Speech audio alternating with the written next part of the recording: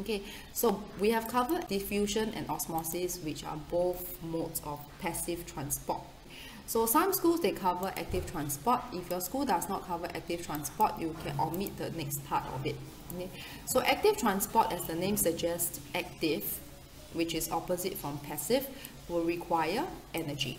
Okay, so two areas, one happens in animal cells, which is the gut. Gut means your small intestines.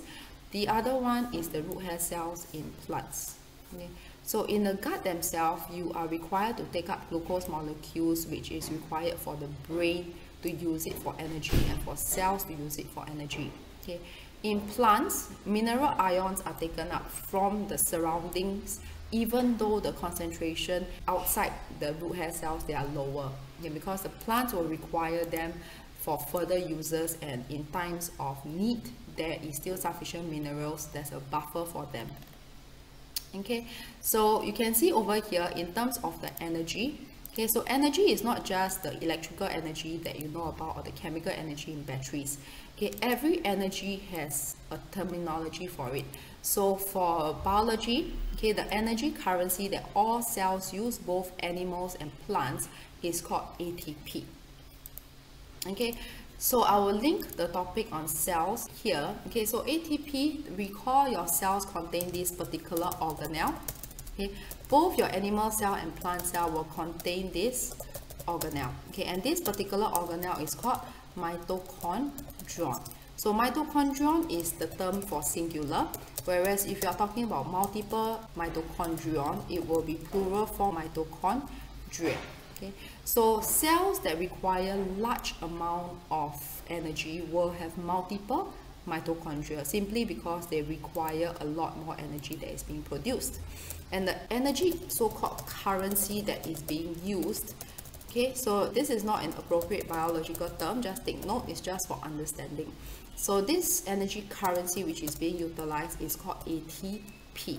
Okay, so at this junction, you are not required to know the entire term for this acronym ATP. Knowing ATP will suffice. Okay, you will learn the full form of it when you continue to do biology. So today we covered on these areas. So I would like to make a summary of these, okay, which you see here. Okay, so we have got diffusion, osmosis, and active transport. So diffusion and osmosis, they are only passive.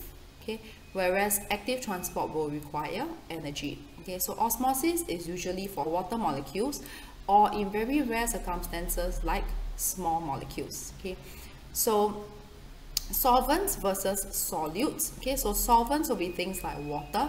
Solutes will be things like your Milo. So when my solute is higher than the cells, it means that it is hypertonic. Okay? Whereas if I have got lower solute concentration and I put the cell into a region that has got lower solute concentration, that is called hypotonic. Okay, so terminologies that you have to take note are here, crenation, plasmolysis, lyse, and flaccid. Okay, depending on whether it is in a hypertonic, hypotonic solution or it is a plant or animal cell. Okay, now last but not least, why do you need a high surface area to volume ratio? Is to enable efficient exchange of substances. Okay. Now, this take note that this is just a very brief overview or brief summary of the entire topic. So areas like hypertonic, hypotonic, and the conditions as well as the terminologies, you will still have to look at the entire video and assess the notes themselves. Okay. Thank you for watching.